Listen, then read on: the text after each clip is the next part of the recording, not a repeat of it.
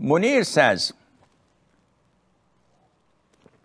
if I marry more than one woman, and if one of them dies, who will I be in Jannah?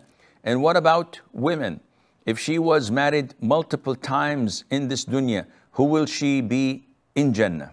Well, first of all, if a man marries more than one wife and they die while he's alive, they will be with him in Jannah, inshallah.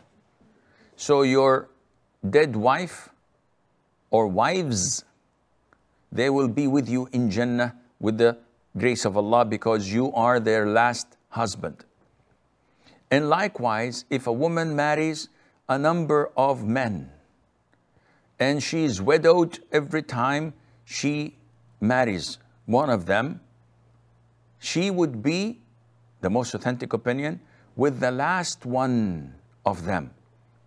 And there is another opinion saying that she would be with the best and most righteous one of them.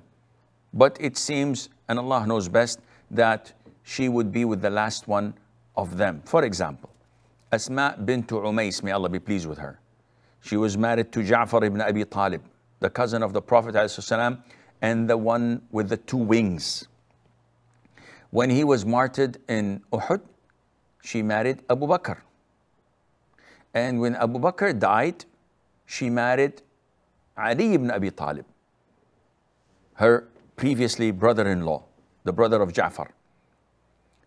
So who will she be with on the day of judgment? The most authentic opinion that she would be with Ali, though Abu Bakr was more righteous and higher in rank than Ali, but because he was the last one and Allah Azza wa Jal knows best.